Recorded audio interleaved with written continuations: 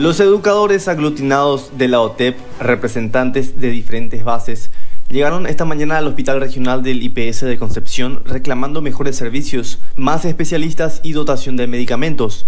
Cuestionan el sistema de concesión de números que ya muchos madrugan y se encuentran de igual forma el no conseguir las consultas. Que es intencionalmente esta precarización, porque a veces no ñeño entender de a veces en catuya yapó.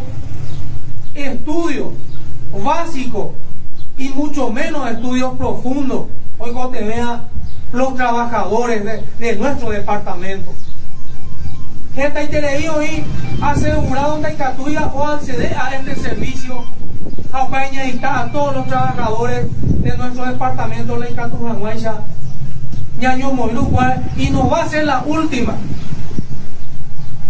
Hoy estamos presentes Yayuyeuta, vamos a seguir, eh, vamos a seguir con la resistencia, vamos a seguir denunciando. En este tiempo electoral que ya jamás hay gobernaciones nos debe ya ya la de postura como organización, como trabajadores y que el momento electoral no sea un engaño para los asegurados. A nivel central entendemos que este funcionamiento del IPS es así también. Tercerización. Algunas, algunas autoridades ganan millones de plata de pago IPS Se está usando fondos de, de IPS. Va a ir la de plata.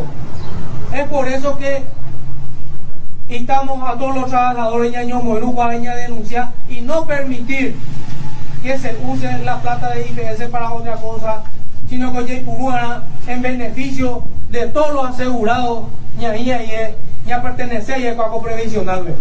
Muchas veces estamos esperando a doctores que están cumpliendo horario en sanatorios privados haciendo su extra. Nosotros creemos que